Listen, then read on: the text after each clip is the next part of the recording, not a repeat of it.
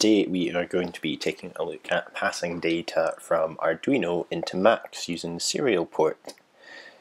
Simply what I've got is a single button setup on Arduino on my digital pin 2 and every time that's pressed we're going to pass a message into Max that allows us to control something. Some of my last reviews I'm going to start outside of Max and deal with all the externals before we go into the, the, the, the meat and bones if you will. Here's a quick drawing of the circuitry that I'm using.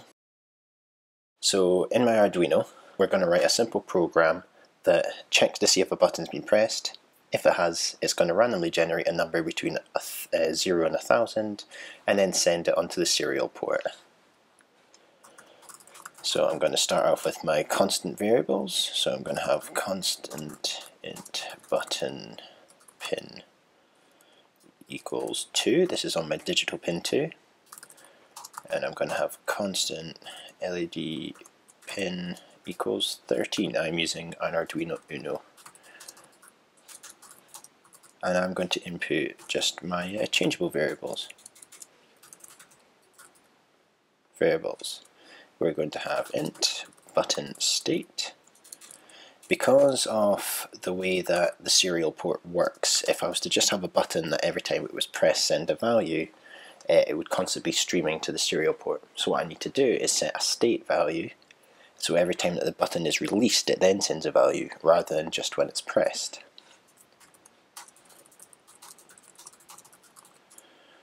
And with that I'm also going to need uh, the previous state of the button so I can compare the two. And then finally I need my random value which at the moment is just set to 0. Void setup. Initialize the button so we're going to have pin mode button pin input. So my button pin which is on 2 is now being uh, set to an input and then the exact opposite we've got my LED pin is an output because we just use that for error checking if we need it as we go through.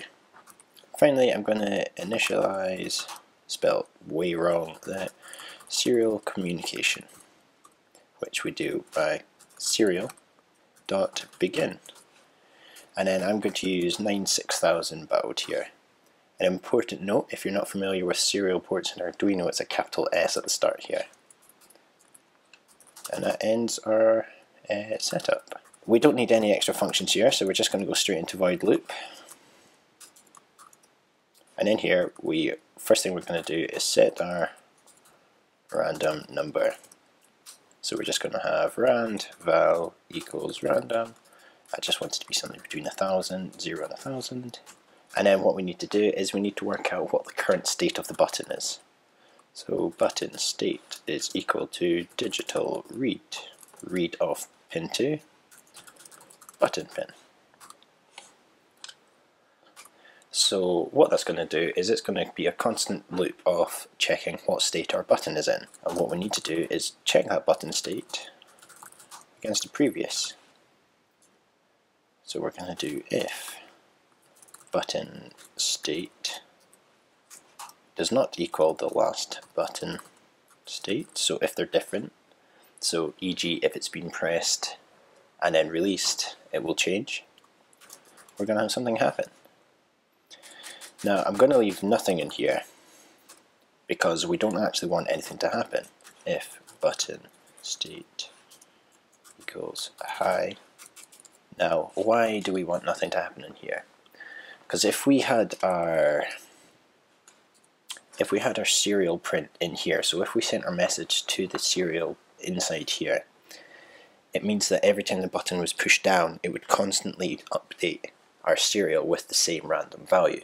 But we only want it to happen once. And if we think about it in max terms, when the button is pushed down, state equals high is constantly banging.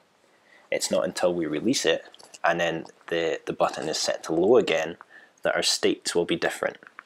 So we're going to leave the sending of the value until the button has been pushed down and then released again which is a single bang, hence sending a single value. So we do else, else is uh, the button can only be high or low, so 1 or 0, so if it's not high it must be low. Uh, and then what we do is if current state is low, send value.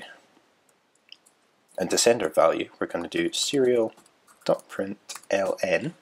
So we're going to print a new line into the serial, which is random val. And that's it. And then what we're going to do is I'm going to do, in case of bounce, so in case something happens with the button, I'm going to add a little delay of about 50 milliseconds just to make sure that everything has, managed, uh, has a chance to upload onto the serial port properly. And then after all of that, outside of my if button state statement, we're going to update the last button state to equal the current button state. So that means that they will never equal each other. They'll always be switching back and forward from 1 to 0, 0 to 1. So in theory, if I verify this, it'll ask me to save it. Verify, let it compile. going to make sure that everything's set up properly on my board, and then I'm going to upload it. So what I should see now, if I open the Arduino serial monitor, is when I push the button, and then the button is released, we will get a randomly generated number between 0 and 999. So that's perfect. So now I can close that minimize Arduino, you could actually close it. So in Max, everything is going to come through our serial command. And if you look at the reference for this, there's lots of helpful stuff in here.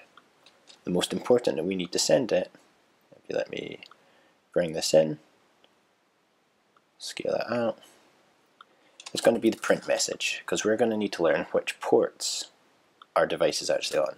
So if I bang that, we can see that I've got port A, which is my Bluetooth incoming port, because my Bluetooth is switched on, and I've got port B, which is my USB modem 14121. Uh, so I need to set that to B.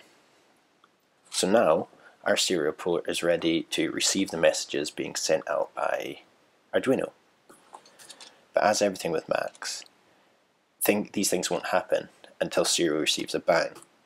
So I'm going to put a metro into it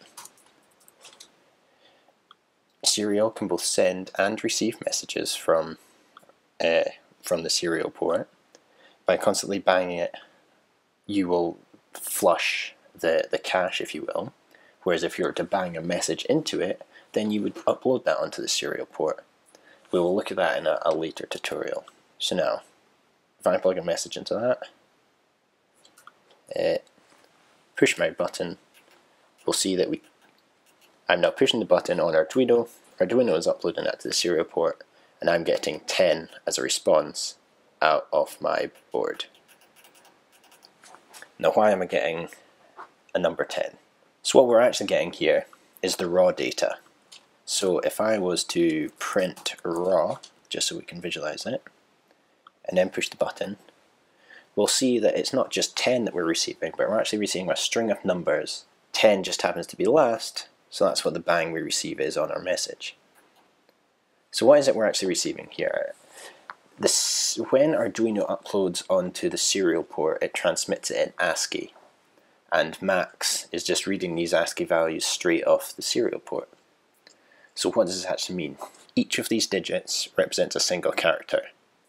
Where there's a 13 and a 10 next to each other, that means that it's a termination method message on a carriage return. So that's the end of our line on the serial port. So our actual message is contained in that 55, 52 and 56, which represent different values in ASCII.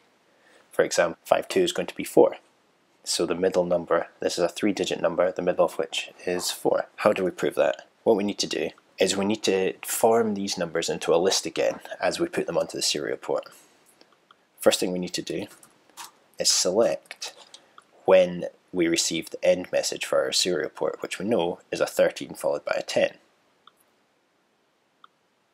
And when we do receive that 13, we can form a group.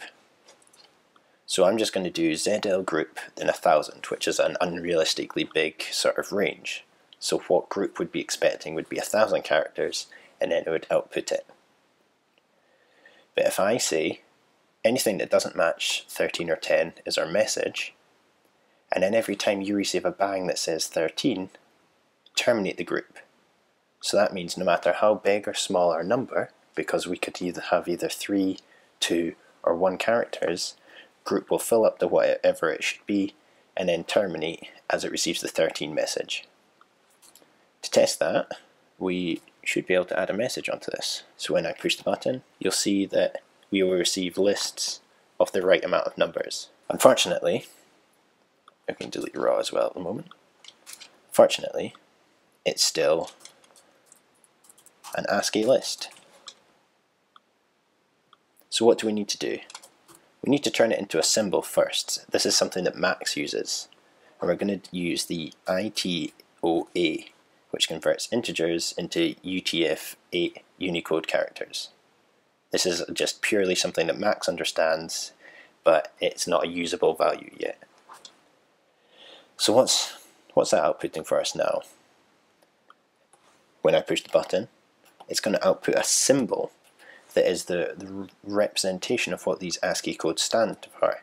You'll notice the speech marks as the sign of a symbol because Max doesn't know this is an integer yet. So finally, we're going to turn them from a symbol, convert a symbol into a number or a message. And it can automatically tell what this is receiving from what's called the white space in Max. So from symbol, uh, once again, just for the sake of error testing it all, we'll do a integer from symbol. So now if I push the button on my breadboard, suddenly 535654 represents a 5, an 8 and a 6 and now we've turned that 5, 8 and a 6 into an actual integer that we can use. Let's see if there's a way for me to prove my point here. You'll see that number doesn't understand what ITOA is receiving but it does understand what symbol's outputting because it's now a number again. This is the most important part when you're bringing data in from the serial port from Arduino.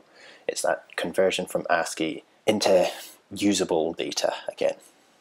So how do we use it? Uh, if we do something like a slider, a slider spelled correctly, let's make it nice and long. In here I'm going to, it's 128, so we can scale I know that my data in random goes from 0 to 999 and that slider goes from 0 to 128 by default. So we plug that in, we plug that in. Now every time I push my button on Arduino, we're going to generate lots of different values here. And then plugging it into a, a scale and a slider is just a completely sort of visual way of representing you can do stuff with these numbers. Now say we want to send two values at the same time. If we go back to Arduino this is really simple to do. So first thing we're going to do is add a second value for our random value number 2. We're going to calculate our second random value and I just command T to auto format that so it's a bit neater. And then down here what we're going to do is we're going to serial dot print and then it's important that the new line is left until the end here.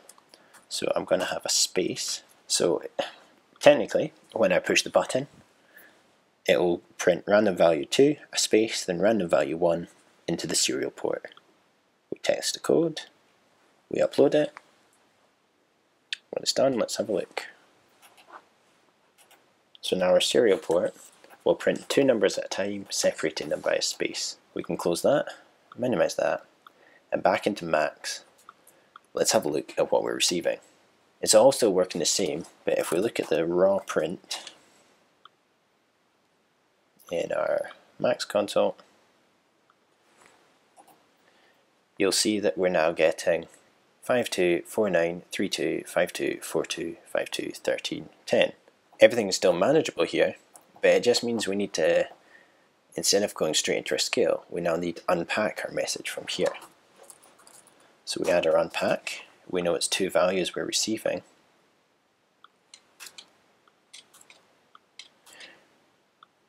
And as simple as that, we should now be receiving two values out of it, which still matches up with what our symbol of the ASCII code says and our integer from the symbol.